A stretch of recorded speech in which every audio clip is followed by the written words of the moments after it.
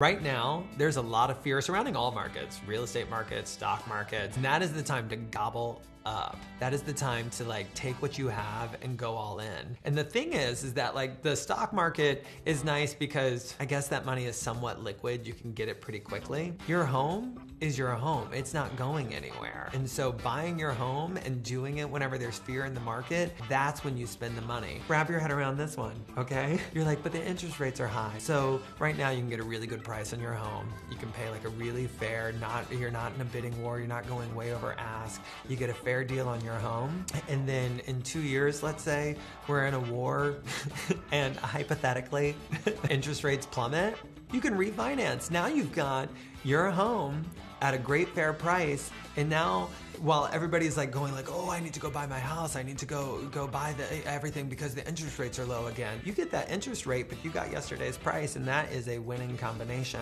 that people for some reason are too afraid to even wrap their heads around. But like that's the magic of real estate. Buy now